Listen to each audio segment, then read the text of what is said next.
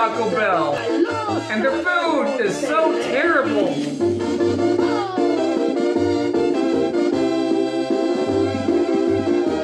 This quesarito is so good I got from Taco Bell, but anyway,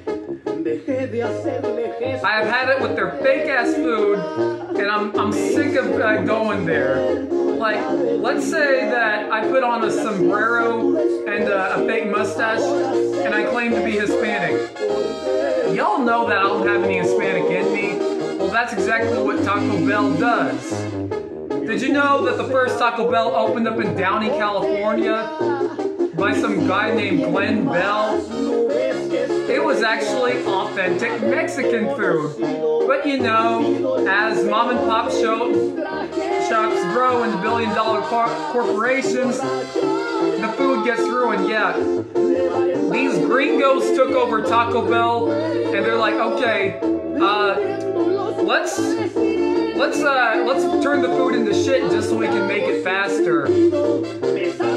Man, I wish that Glen E. Bell never gave out his recipe because he's looking down from heaven going, Oh, you know bueno gringo, you mucho puta. Yeah, like, you know what my dream is? For somebody to open up an authentic Mexican restaurant with Taco Bell prices.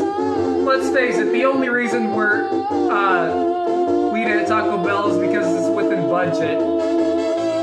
Man, I hate them and I'm never eating again.